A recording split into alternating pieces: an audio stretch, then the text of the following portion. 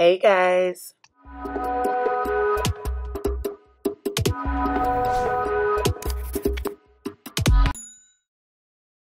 So for today's video, it is sponsored by Ronnie Hair. So thank you so much, Ronnie Hair, for sending over this new unit.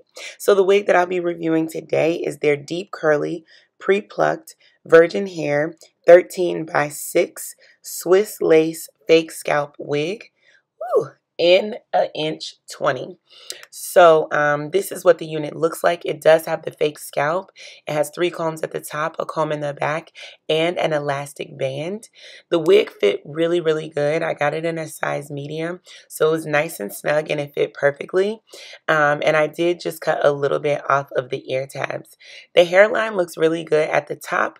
The sides probably could have been plucked a little bit more, but it's a middle part, so I knew it was no need to pluck it because the hair is going to fall over the sides anyway.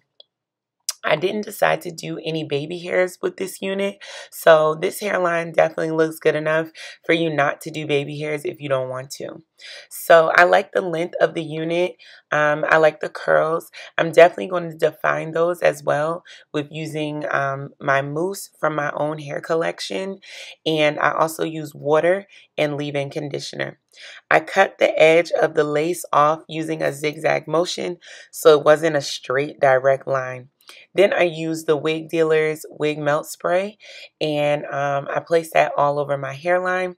And then I also just used a little bit of the Got2b gel on the side, the one in the yellow container, because I find that the Got2b gel really does work better on the sides.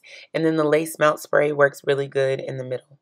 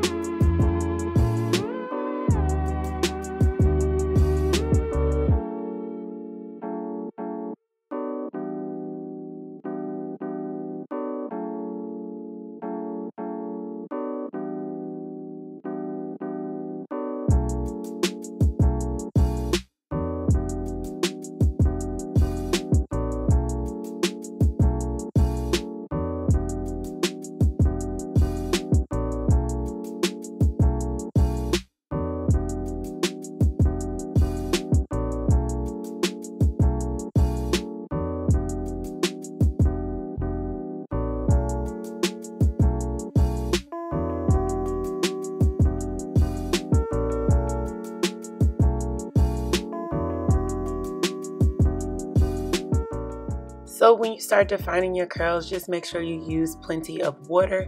Moisture is definitely key in making your curls pop. Um, I just use a regular water bottle and then I use the Carol's Daughter Black Vanilla leave-in conditioner. I really love that one. And then to define the curls, I go ahead and use my Glee Made um, uh, styling mousse and that mousse really makes the curls pop. You definitely want to concentrate on all the hair, like through the top and down to the end of the hair. I also decided to trim the hair to give it a more blunt cut at the bottom, but I also added layers as well.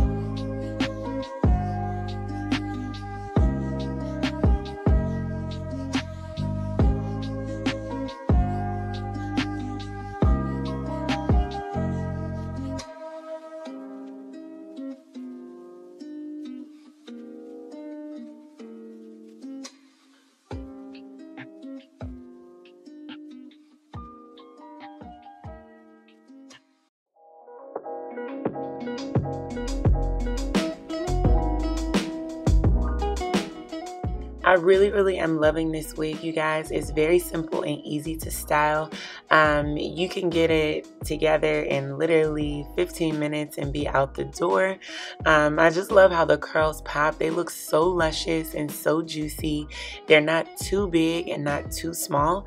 It's like the perfect curl pattern for the summertime. So you guys let me know what you think about this hair. If you're interested in it, I will definitely leave links down below to where you can check it out and make sure you let them know that Jess sent you.